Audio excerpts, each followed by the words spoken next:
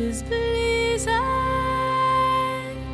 and love's a pleasure when first it is new.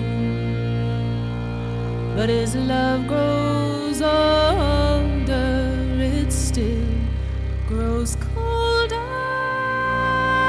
and fades away like the morning dew.